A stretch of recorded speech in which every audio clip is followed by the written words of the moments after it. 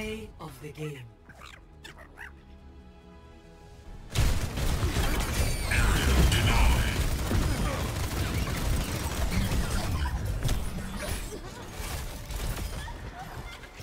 Try using your grapple.